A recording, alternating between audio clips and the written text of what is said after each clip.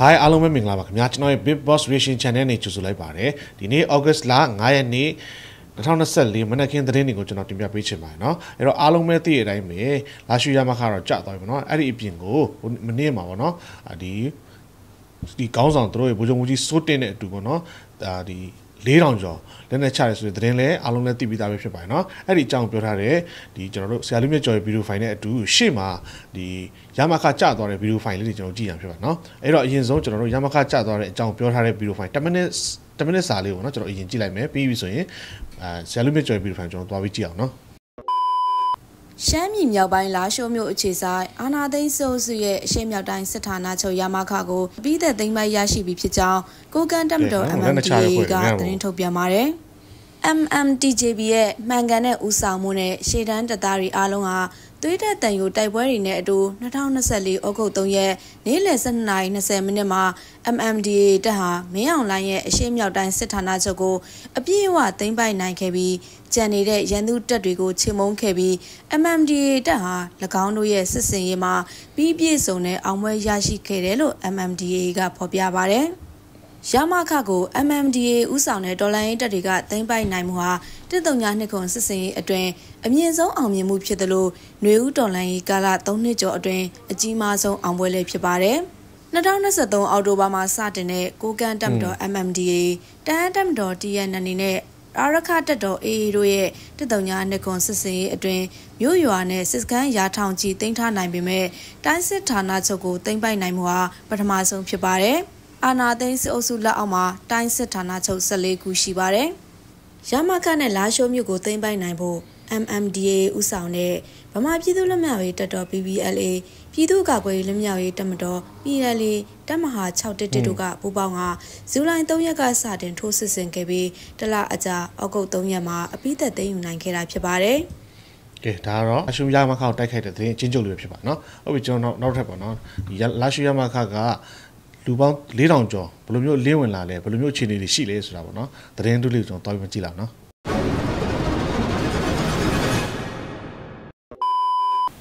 ဒါပေမဲ့ Telegram အကောင့်ပေါင်းထောင်တဲ့ချီကိုကျွန်တော်ချက်ချင်းမတုတ်ပြန်နိုင်ဘူးစာမပြန်တဲ့အတွက်နားလည်ပေးပါတချို့အရေးကြီးတဲ့အချက်လက်တွေကိုကျွန်တော်မှတ်သားထားပါတယ်ဖတ်လဲဖတ်ပြီးသားတွေရှိဆိုတော့ဒီကနေ့မှာတော့ဘ ဝရက်ကွက်မှာတော့မကြသေးတဲ့ရမခအရှိမြောက်ပိုင်းစစ်ဌာနချုပ်ကျော်စိုးကတော့မကြသေးပါဘူးဇော်ဘုံကြီးမကြဘူးပါကျော်မျိုးမင်းကြသွားပါရမခကိုဖြစ်နေတာရမခဆိုတဲ့အရှိမြောက်ပိုင်းစစ်ဌာနချုပ်ကိုမပူတုကြတော့ပါဘူးပေါက်ကိုတော့ဆဲနေပါဘူးကလော်တုတ်ပါနော်ဆိုတော့ စစ်ကောင်စီအတိုင်းဝိုင်းဖက်စစ်တပ်အတိုင်းဝိုင်းတစ်ခုလုံးကတော့အရှင်းမြောက်ပိုင်းစစ်ဌာနချုပ်ကြသွားတဲ့ကိစ္စသူတို့နှလုံးသားထဲမှာခါခါတီးတီးနဲ့လက်မခံနိုင်တော့အောင်ကိုသူတို့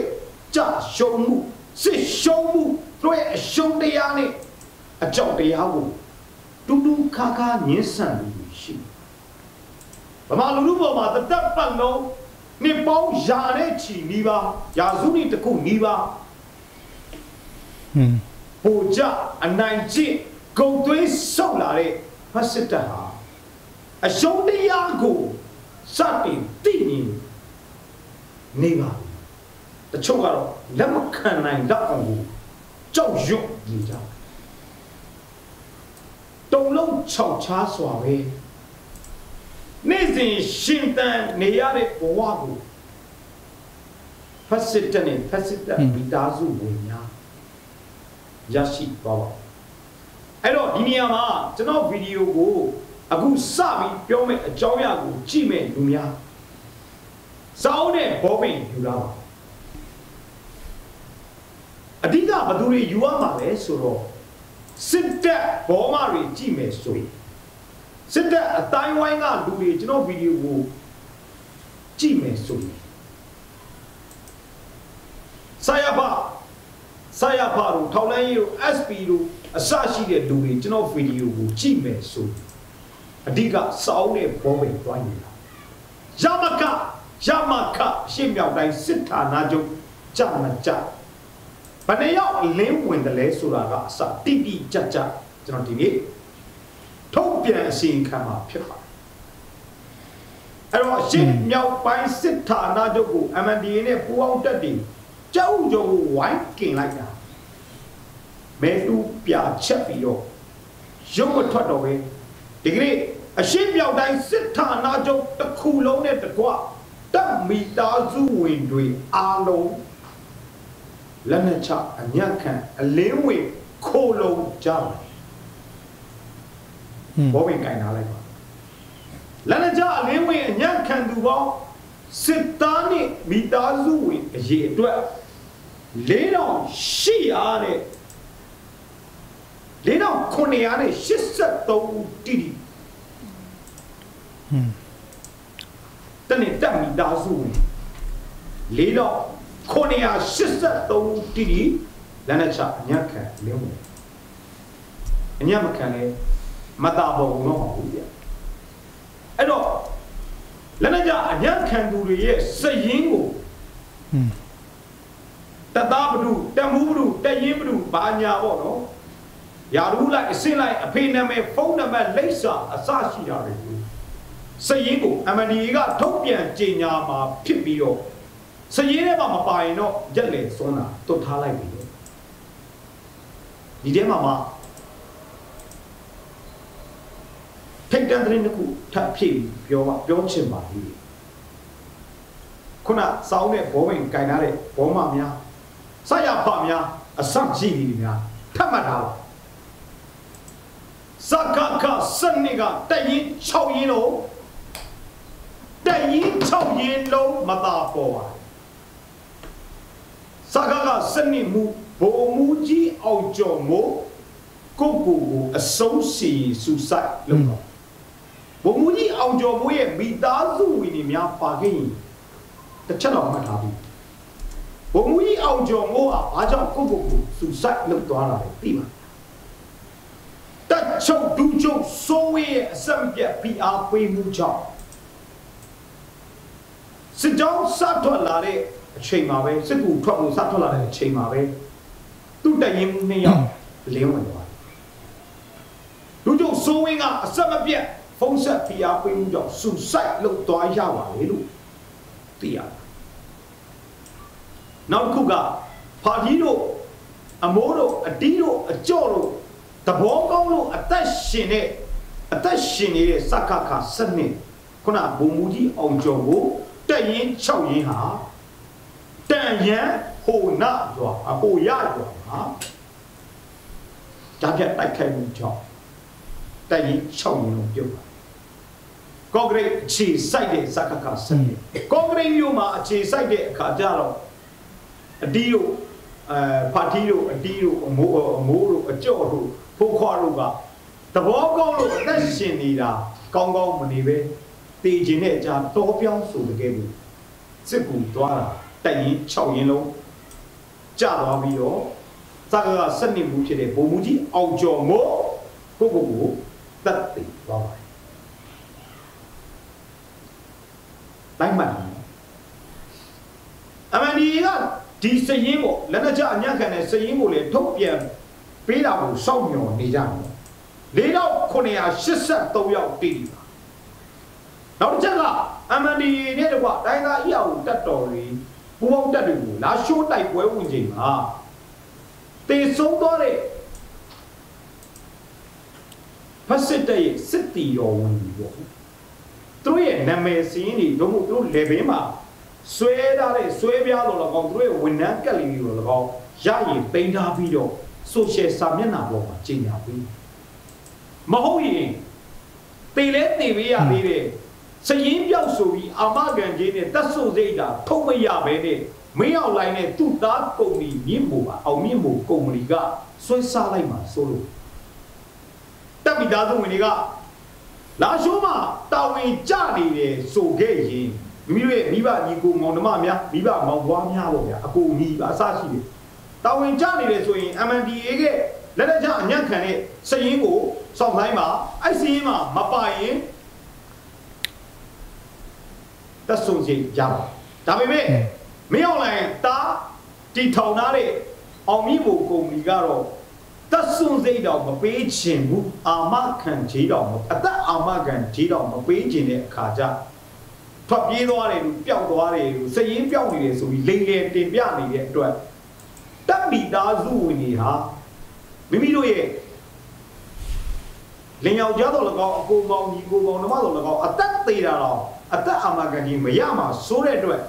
စိုးရိမ်တဲ့အတွက်ကျွန်တော်ဒီညကနေ MNDA ကိုမြစ်တာရက်ခံလို့တာက တေဆုံးသွားတယ်ကြာဆုံးသွားတယ်ဖက်စစ်တဲ့စစ်တီတော်ရဲ့ဒါလေဘာကောင်းလဲစစ်သားမပုံနေကတ်တို့နာမည်တို့အထောက်ထားတစ်ခုခုလေးကိုတော့ Facebook ပေါ်မှာတင်ပေးဖို့ဖြစ်တာရက်ခံပါတယ်အဲ့တော့တပ်မိသားစုဝင်ဆိုတဲ့လူများလာရှုံးမှာတာဝန်ကြတယ်ဆိုတဲ့ဖက်စစ်တပ်မိသားစုဝင်များ MNDAA ကထုတ်ပြန်တဲ့စည်ရင်းကိုစောင့်ကြည့်ပြီးပါ စည်ရင်းမပါခဲ့ရင်နောက်ထပ်တင်မဲ့တည်ဆုံးသွားပြီဆိုတဲ့အမှတ်အသားလက္ခဏာတွေကိုစောင့်ကြည့်ပါဒါမှခင်ဗျားတို့တက်ဆုံစီရမှာဒီလိုရမခကြီးအကင်ခံရပြီးမဲမဲပြကြမွဲပြကြနေတဲ့အချိန်မှာမင်းအောင်လိုင်တယောက်တက်ဆုံကြိုးပမ်းသွားတဲ့တိုင်းစစ်ဌာနချုပ်ကြီးတစ်ခုမကြခင်ကြတော့မယ်ဆိုပြီးစစ်ဝစ်စုံဝစ်ပြီးတော့ တိုက်ပွဲဝင်တယ်လို့ထင်နေပါလားနေပြည်တော်ကအမျိုးသားပြလိုက်တဲ့မိရဒါဆက်ကောင်းယုံရောက်နေလို့တဲ့သူ့ကိုထောက်ခံတဲ့ဘောမသတိုက်ကပတ်ပတ်ဆက်ဆက်ကျိန်ဆဲနေပြီလေဆိုတော့ကဒီထက်နောက်ထပ်ထပ်ဆင်ပြီးတော့ခုနသတင်းပေးတွေစာရဖတွေ SP တွေကျွန်တော်ဗီဒီယိုကိုကြည့်မဲ့တရှိုးဒလန်တွေ ဘောမတွေတက်မိသားစုဝင်တွေများပါခဲ့ရင်ထပ်ပြောပါဦးမယ်ထပ်မှတ်ထားပါရမခတိုင်းမှုဆိုတဲ့ကောင်ဘုံကျုပ်စိုးတစ်အရှိရအရှိလက်ရဖမ်းမိပါတယ်နော်နောက်စကခညောစကကတစ်ဘုံမှုကျုပ်မျိုးမင်းထွေးရမကတိုင်းစစ်ဦးဒီကျုပ်ဘုံမှုကျုပ်တန့်ထင်ဆို အရှင်ဖမ်းမိထားပါမနေ့ကစိုးတင်လက်ရဟရင်ပြက်ကြပြီးမတာပေါ်တဲ့ပထမဦးဆုံးဘိုလ်ချုပ်ဖြစ်မှတ်တမ်းဝင်လာပြီးဒီကနေ့တော့တိုင်းတိုင်းမှုစစ်တိုင်းမှုအရှင်းမြောက်တိုင်းစစ်ဌာနချုပ်ရဲ့စစ်တိုင်းမှုဘိုလ်ချုပ်စိုးတင်ကိုတော်လိုင်းတက်နဲ့တိုင်းသားအီယာကိုတက်တွေကမြန်မာသမိုင်းတစ်ခုလုံးမှာလုံးဝမရှိဘူးတဲ့စစ်တိုင်းမှုတယောက်ကို ဘိုလ်ချုပ်တယောက်ကိုလိုက်ရဖမ်းဆီးလိုက်ဒီတက်လက်နဲ့ကြအညံ့ခံအလင်းဝင်အရှင်ဖမ်းပြီးတဲ့တရင်မှုတွေဘုံမှုတွေဆိုတာအောလုံးထားဆိုတော့ဒီအခြေအနေတွေကိုကြည့်ချင်းအဖြစ်ဖက်စစ်တပ်ဟာရမကပြီးတပြိုင်နက် ဒိုမီနိုတက်ရောက်မှုရစင်ကဲပြုတ်ကြားမှုတွေဖြစ်လာမယ်ဆိုတာကိုသိရှိနားလည်တဲ့သဘောရှိပါတယ်ဒါကြောင့်မန္တလေးတိုင်းလာပါခကိုအပြင်းထန်ခံစစ်ပြင်ပြီးမန္တလေးတိုင်းကိုမန္တလေးမြို့ခံစစ်ပြင်ဖို့ဆောင်ရွက်နေတယ်ဆိုတာလေမြို့နေပြည်များတည်ပြီးဖြစ်ပါတယ်အနည်းဆုံးပြတဲ့မုံရွာအနောက်မြောက်တိုင်းစစ်ဌာနချုပ်ဆိုတဲ့ဘုံကနမခကိုလည်းရေလှေနေတဲ့တရဇက်သွားပြီးခံစစ်ပြင် မိတ်ဒီလာမှာတော့လူမရှိတော့ဖြစ်နေပြီးတော့မကွေးလေတဲ့ဌာနချုပ်ကတော့သတိထားရမယ့်ကိစ္စတစ်ခုရှိလေတဲ့နဲ့ဆက်မပြတ်ဘုံကျင်းမှုတွေလုပ်ဖို့မကွေးနေတဲ့တရားဦးလေတဲ့စကန်အီလာလေတဲ့စကန်မိတ်ဒီလာလေတဲ့စကန်ဒီလေးခုကအဓိကဘုံချင်းမှုလုပ်နေတယ်ဆိုတာအတိအေးရဘူးဒီတစ်ခေါက်တော့လေရင်ခွင်းတွေလေတဲ့ဌာနချုပ်တွေနဲ့လေရင်မှုရဲ့မိသားစုတွေထံကို လူမြတ်ကျော်ရင်းစကားပါလို့တာကခင်ဗျားတို့လေရင်နဲ့ဝင်သွားရင်တန်းနဲ့ချီတဲ့ပတ်စံရမဟုတ်ရင်ခင်ဗျားတို့ဘဝကိုဘဝကိုကိုရလေတရဲဆိုတဲ့ကောင်ရဲ့မိသားစုဝင်နေနဲ့လေတရဲဆိုတဲ့ကောင်နေနဲ့ပတ်သက်ဆက်ရှက်မှုအပေါင်းကိုပြည်သူလူထုကပြင်းပြင်းထန်ထန်တန်ခတ်မှုတွေလုပ်ဖို့အချိန်ရောက်ပါနံပါတ်1လေတရဲလေမောင်းဒီကောင်တွေရဲ့ ဒီကောင်တွေရဲ့ပါဝင်မှုနော်သူတို့ရဲ့မိသားစုဝင်ဆွေမျိုးအတိုင်းဝိုင်းပတ်သက်သူအပေါင်းလုံးကိုပြစ်ဒဏ်ခတ်ရမှာဖြစ်ပြီးတော့နံပါတ်1 latest gun ဌာနချုပ်တွေကို drone တွေနဲ့ပုံကျဲချပြီးလေပြေးလန်းတွေကိုဖျက်ဆီးပြရပါတယ်နံပါတ်3လေရင်စီကိစ္စအဲ့လေရင်စီကိစ္စမှာကျွန်တော်တို့ကလေရင်စီဖြတ်တောက်ရေးတွေဘလို့ပဲអော်နေလေရင်စီကိုဗန်းတမယာကန်ရေနံချက်ဆက်ယုံကချက်ပါတယ် အဲ့ဒီကချက်တဲ့ရေနံဆိုတာဘယ်ကရလဲဆိုတော့အဓိကညောင်လုံးမအုပ်ပင်ကထွက်တဲ့ရေနံဖြူကအဓိကလေရင်စီချက်ပါလေလို့ကျွန်တော်က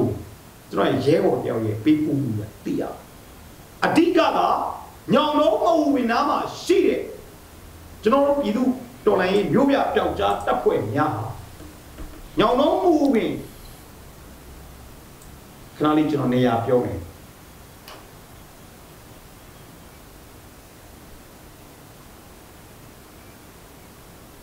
ညောင်လုံးမှုပင်မှာရှိတဲ့ရေနံထွက်တဲ့နေရာတွေမှန်သမျှတိမ့်ပိုက်တိုက်ခတ်ထိန်းချုပ်ကြအောင်အဲ့ဒီကရေနံဖြူထွက်တာဖြစ်ပါတယ်အဲ့ဒီရေနံဖြူတွေကို ARD မြစ်တိုင်းအစုံအစင်စီတော့တေတေယူပို့ဆောင်နေပြီးတော့မန်တမယာကန်ရေနံချက်ဆက်ယူပို့ပါအဲ့ဒီကနေလေရင်စီထွက်ပါတယ်အဲ့ဒီလမ်းကြောင်းကိုထိန်းချုပ်လိုက်နိုင်ရင်တော့စကားစပြိုလဲသွားပြီလို့အာမခံထားပါတယ်အ ဓိကဝင်ငွေရလန်းကြီးတစ်ခုဖြစ်တဲ့ကျွန်တော်တို့ရေနံလမ်းကြောင်းရေနံထွက်တဲ့လမ်းကြောင်းမှာဒီအောက်ကကွေးမငပတ်ချောင်းမြန်အောင်ဒီကလည်းထွက်နေတဲ့ရေနံတွေအမြောက်အများရှိပါတယ်ဒီနေရာတွေကရေနံတွေကို ARD မြစ်အစုံစံတည်ပြီးတော့အဲ့ဒီ ARD မြစ်စင်ပေါက်တွေထဲမှာရေနံဂါလန်တသိန်းတော့တသိန်းကျော်တော့စက်နေ စင်ပေါက်တွေနဲ့ ARD မြစ်အစုံစံတိမ်ပို့ဆောင်နေလို့ဆိုဒါကဒီလေကြောင်းနဲ့ပတ်သက်တဲ့ဟာတွေကိုကျွန်တော်တို့တိုက်ခိုက်ဖြတ်တောက်နိုင်ရင်မာလာဖတ်စစ်တဲ့စစ်ရှုံးသွားပြီလို့ကျွန်တော်တို့ကဘာကိုကြင်ညာလို့ရတဲ့အနေထားရောက်ရှိသွားပါလိမ့်ဟုတ်ပါဘူးနော်အဲ့တော့ဒါတွေကတရင်နဲ့ဆက်ဆက်တဲ့ဆွေးနွေးချက်တွေဖြစ်ပြီးတော့ အနစ်ချုပ်သုံးသက်ချက်ကိုပြောရရင်ရမခအရှိမြောက်တိုင်းစစ်ဌာနချုပ်ကြာတာကြာရှုံးသွားတာဖတ်စစ်တပ်အတွက်အင်မတန်ထိတ်လန့်စရာကောင်းပါတယ်စစ်ဌာနချုပ်14ခုထဲမှာရမခဆိုတဲ့အရှိမြောက်တိုင်းစစ်ဌာနချုပ်ကိုရှိသမျှလက်နဲ့လူလူရိတ်ခါအကုန်ပို့ပြီးတော့ ရှမ်းမြောက်ကဝင်လာမဲ့စစ်စင်ရေးအတွက်19ခုတော့လော19ခုဒုတိယပိုင်းစစ်စင်ရေးအတွက်အကြီးအကျယ်ခံစစ်ပြင်ဆင်ထားတဲ့နေရာဖြစ်ပါတယ်လက်ရှိတိုင်းစစ်ဌာနချုပ်ကျန်တဲ့တိုင်းစစ်ဌာနချုပ်တွေဟာအရှိမြောက်တိုင်းစစ်ဌာနချုပ်တော့အင်အားမရှိဒါကြောင့်မို့အရှိမြောက်တိုင်းစစ်ဌာနချုပ်ကိုရရှိသွားပြီဖြစ်တဲ့အတွက်ကျန်တဲ့ စစ်ဌာနချုပ်တွေအားလုံးကိုတပြိုင်နက်ဝင်တိုက်လို့ထိုးစစ်ဆင်လို့ရမယ်ဆိုတဲ့အကြောင်းသတင်းစကားပါပြတယ်ဘယ်စစ်ဌာနချုပ်မှအရှိပိုင်းတိုင်းစစ်ဌာနချုပ်တော့အင်အားဖြစ်နေတာမရှိဘူးလာရှုပ်ကိုတို့ကြိုပြင်လာတာပါဒါပေမဲ့မရခဲ့ပါဘူးပြိုကျပျက်စီးရှုံးနေသွားပါဟုတ်ပြီနော်အဲ့တော့ လက်ရှိအချိန်ထိတော့အမနီဟာတိုက်စစ်ဌာနချုပ်ရုံးခန်းတွေကချိတ်ထားတဲ့စစ်ဘူချုပ်ဖတ်စစ်ဘူချုပ်ပုံတွေကိုဖြုတ်ချပြီးကျူရှူးနဲ့မှန်းတဲ့အခြေအနေရောက်ဒါပေမဲ့ဟိုဘက်မြောက်မြန်မာရက်ဘက်မှာတော့ရမခကမကြသေးဘူးကျွန်တော်တို့ဘက်မှာတော့ရှူရှူးနဲ့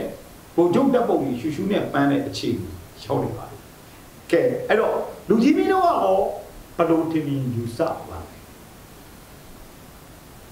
ရမခကြပြီးတော့ဒိုမီယိုသဘောတရားရတိုင်းစစ်ဌာနချုပ်တွေခလာရတွေခမရတွေအကုန်ပြိုကျမှာဖြစ်တယ်ဆိုတဲ့အကြောင်းပြောကြားလိုပါတယ်အဓိကအထူးပြုပြောကြားလိုတာကနာမခဆိုတဲ့အနောက်မြောက်တိုင်းစစ်ဌာနချုပ်ကြောက်လို့အတွက်သခိုင်းအင်အားစုတွေညီညွတ်ဖို့လိုပါတယ်မကွေးနေတဲ့ဌာနချုပ်နဲ့တကွာကျွန်တော်တို့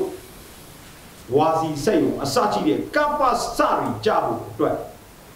စစ်တပ်ရဲ့အစုပ်ကြီးဖြစ်တဲ့အသက်ရှူပေါင်းကြီးဖြစ်တဲ့မကွေးတိုင်းကိုရဖို့အတွက်မကွေးအင်အားစုလိုပါတယ်ဒီစစ်တိုင်းနှစ်တိုင်းဟာဒီစကိုင်းတိုင်းနဲ့မကွေးတိုင်းဟာဗမာပြည်ရဲ့အာဏာဗဟိုချက်ဖြစ်ပါတယ်